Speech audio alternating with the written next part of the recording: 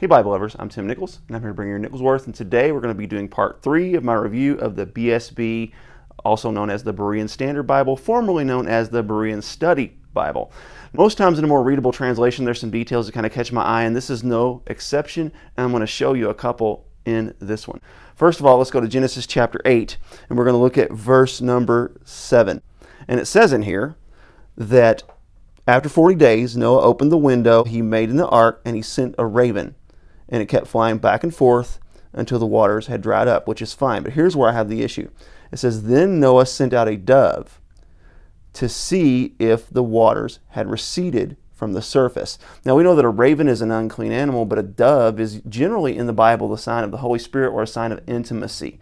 And the literal word for word rendering says that he took a dove from himself to imply intimacy, like he had a relationship with the dove, unlike the raven. Now, in the BSB's defense, what they do is they clarify this down in the notes. Okay, and it says that literally sent out from him or sent out from it.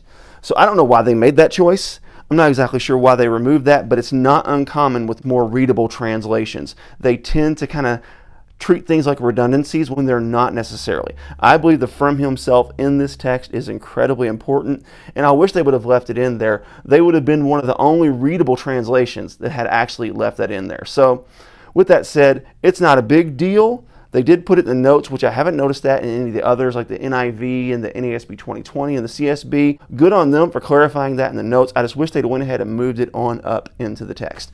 One more thing that I want to point out that kind of bugged me about this translation is found in Psalm 55 17. Okay, and it says, Morning, noon, and night I cry out in distress, and he hears my voice. Every other translation that I've read that translates Psalm 55 17, it says, Evening and morning and noontime will I pray. Now, the order in this is incredibly important. If you notice in Genesis chapter 1, it says then evening and morning were the first day. In the Jews, their day starts in the evening. So I understand what they're trying to do here. They're trying to kind of give us in a Western mindset that David is saying, I pray first thing in the day. But I wish they would have went ahead and left this a little more literal. And again, they're the only translation I know of that has done this to try and kind of make it more sense to a Western mind. But I wish they'd have left that alone. I don't know if that was their intent. Maybe I'll get some feedback from them on this video. That's probably what bothers me the most about this one is changing of that order of the day. Just go ahead and leave it alone because that's when the Hebrew day starts, It's in the evening. Evening and morning were the first day. So they would literally start their prayer day in the evening at sundown evening and morning and noontime. That is the order of the Hebrew day. Not a big deal, but again, it kind of bugged me. Now, overall, as I've read this translation, a couple of things stand out. Number one, it is very smooth to read, no doubt.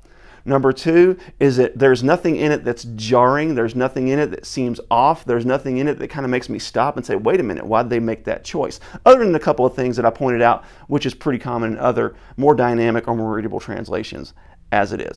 Another thing that really stood out to me is that they worked really hard to preserve the traditional sounds of the poetry, which I think is really important, where they kind of made the poetry readable, where it's not hard to understand, but they also didn't make it so jarring and weird and almost goofy, kind of like the NLT, when you get down toward that paraphrase size and they really lean hard toward understanding what the poetry is saying, and it almost kind of sounds wonky, funny, kind of not believable. That's really not what they said. Like in the NLT, they use the word windbag in reference to Job, and I just don't believe that was the word that they used. But I'm going to go ahead and read Psalm 23 out of this because I think this gives us the best idea of how this reads and how they tried to keep the real traditional renderings while also going for understanding.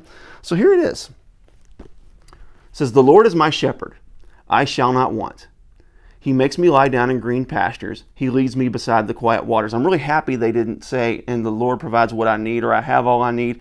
I love that they try to really preserve that traditional rendering because most of us know what it means I shall not want, I shall not lack. It goes on and says, He restores my soul. He guides me in paths of righteousness for the sake of His name. So a little word order change there, but still very flowy and very pretty.